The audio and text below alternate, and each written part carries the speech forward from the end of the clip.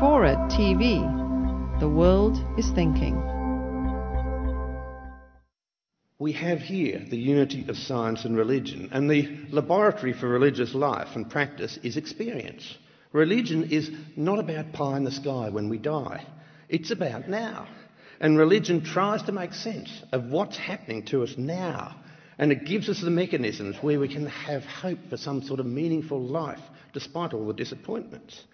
Now, despite our comfortable materialistic lives, there are many who say, Is that all? And I think that there is a yearning for the meaning of life and for a spiritual life. And I argue that most of you, and I'm now going to insult my audience for the next five minutes, most of you are religious. And I argue that these people are religious because we've invented a new religion. The rise of environmentalism parallels in time and in place the decline in Christianity and socialism. And this new religion is just terrified of doubt. It's terrified of scepticism. It's terrified of uncertainty, yet it claims to be underpinned by science. It's actually a fundamentalist religion with a fear of nature. It has its own high priests and its own holy writ. And like many religions, it attracts believers by announcing apocalyptic calamities, unless, of course, we change our ways. Its credo is repeated non stop. There's a new language that's been invented. Logic and contrary data and questioning, they're not permitted. Heretics like myself are inquisitorially destroyed. It's a new religion. It states that now is the most important time in history, and people are told that humanity is facing the greatest crisis in the history of time. We must make sacrifices now. Well, this religion is using the thinking that derives from Judeo Christian tradition. If the world's been destroyed, then we humans are to blame. Now, this New Age religion tries to re-mystify the world, a world that its adherents neither experience nor they try, do they try to understand. And the apocalyptic doomsdayers promote their new religion with seven-second television grabs. This is a disunity between religion and science. And this science derives from the Enlightenment, where we bathed in doubt and scepticism and uncertainty. All that's thrown overboard. Contrary facts are just ignored. Enthusiastic reporting by non scientists is undertaken. They report new science with alarmist implications, but they don't report any contrary information.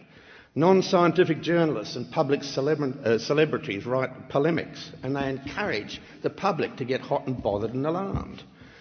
The environmental religion produces widespread fear and longing, all wanting a simple, all encompassing narrative of the world. It offers an alternative account of the natural world with which the adherents have very little contact. It's a city based religion. Environmentalism embraces a myth of the fall, a Christian myth, the loss of harmony between man and nature. This has been caused by a materialistic society. It searches for a lost Eden that probably never existed. Environmental evangelism has a ritual and a language that have totally replaced substance. There have been thousands of global warmings and global coolings. And through my geologist eyes, global coolings have always depopulated the planet. We are the first generation of organisms on planet Earth that has ever feared a warm climate. Environmentalism really creates and exacerbates problems in the third world with disease and food shortages and destroys economies. It's highly flawed when the environmentalists finally recognise that they are actually religious, then a real discussion can take place with other scientists. Until then, they're just like the creationists. They claim that they're scientific, but really the foundations are religious and dogmatic. So your contradictory religion of environmentalism has given you a purpose in life.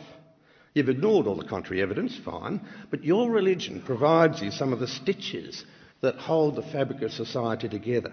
Now, unless these people here are anti environmental, I argue, how on earth can they argue that we'd be better off without religion when they themselves are religious?